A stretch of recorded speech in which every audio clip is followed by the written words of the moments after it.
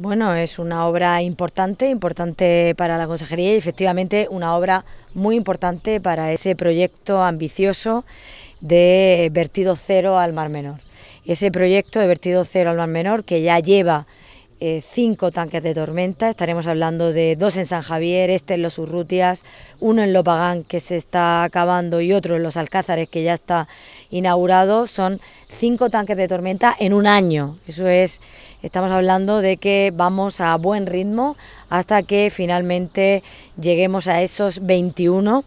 21 eh, tanques de tormenta de ese proyecto de vertido cero al Mar Menor que va a conseguir que dos millones y medio de metros cúbicos de agua eh, contaminada, eh, evitar que lleguen a la laguna, evitar que lleguen al Mar Menor. Es un proyecto en el que estamos muy comprometidos, en el que el Gobierno regional está poniendo los medios necesarios. Hoy aquí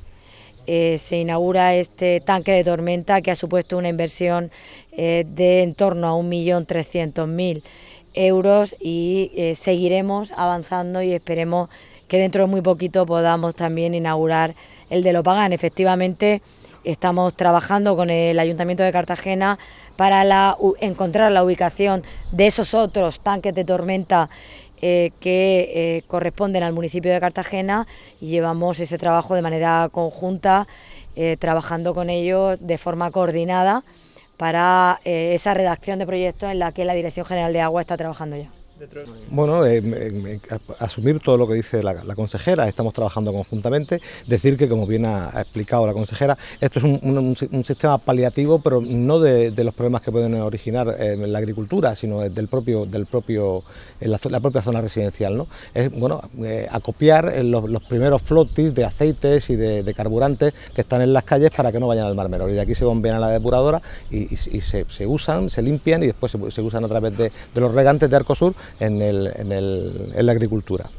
Eh, quiere decir que esto es un paso más, es un paso más para la, protección de la laguna, pero obviamente nos quedan 99 pasos más para proteger la laguna de una manera integral. Eh, los problemas de la laguna salada no solo están en la agricultura que circunda la propia laguna, sino en la agricultura que está en todo el campo de Cartagena. Recordemos que hay un salmoreducto que lleva eh, los acopios de sal de, las desalaciones de los pozos y que la vierte al Mar Menor, que nos sube, sube demasiado, creemos que sube demasiado, al decir de los técnicos, sube demasiado el nivel de, de solubilidad del Mar Menor y al mismo tiempo ya no solo por la sal, sino también porque ese salmoreducto, junto con la sal, por parte de las escorrentías y por parte del nivel freático, eh, lleva aportes de, agroquímicos que emponzoñan el Mar Menor. Ahí tendremos que trabajar también en darle una solución ese salmoreducto que en principio pensábamos que iba a ser la solución, ahora creemos que no es la, auténtica solución y que habrá que tratar esas aguas antes de verter esa, sala al mar menor. Pero como digo, este será otro paso, igual que la instalación de filtros verdes o la, instalación de una gran balsa posiblemente en la parte del mar de cristal que recoja esas escorrentías, puesto que sea la planimetría del terreno a través de,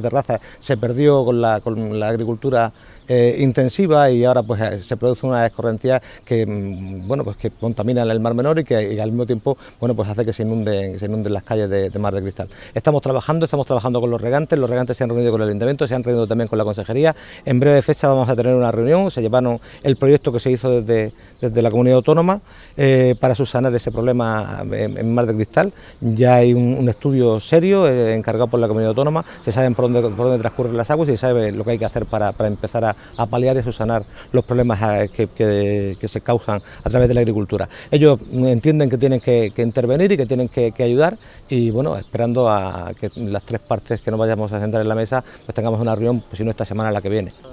el, aterrazamiento, el aterrazamiento no era muy grande, pero era, era suficiente como para que eh, esos flotis... recordemos que antes se, cultivaba una vez al año como máximo, ¿no? y bueno, y había terrones en el campo. Ahora mismo por los sistemas productivos, por la agricultura extensiva e intensiva, no hay terrones en el campo, se convierte en talquín la primera capa de, la primera capa de tierra. Eh, cualquier lluvia, por pequeña que sea, la arrastra y, en ese talquín van también los, agro, los agroquímicos. Si se terrazara, bueno, claro, obviamente em, se producen menos, menos flotis y, el agua asienta más, lo único que pasa es que a los agricultores pues se les pudren las cosechas con ese agua. Entonces, pues claro, uno intenta, intenta salvar su parte. Pero hay sistemas paliativos, es decir, que ese agua se pueda recoger en un canal y pueda ir a, una gran balsa para después reutilizarla, limpiarla y volverla a utilizar, que no llegue, que no llegue al mar menor.